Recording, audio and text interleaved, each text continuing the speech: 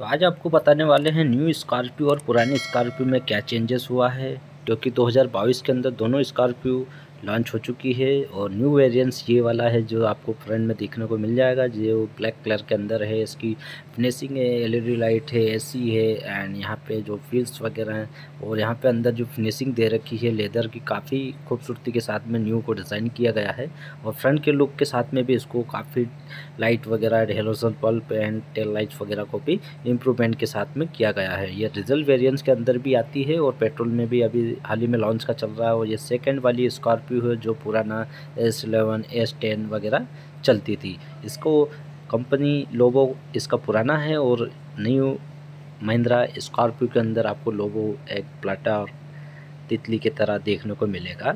ये आपको इसमें नहीं देखने को मिलेगा, क्योंकि इसकी स्कॉर्पियो की दुनिया भर की नंबर वन के इसमें आप महिंद्रा की स्कॉर्पियो जो चल रही है, आप देख सकते हैं। काफ़ी इसका जो लुक है, पुराने वाला ये है तो नई घड़ी, पर इसके अंदर आपको लुक पुराना वाला देखने को मिलेगा।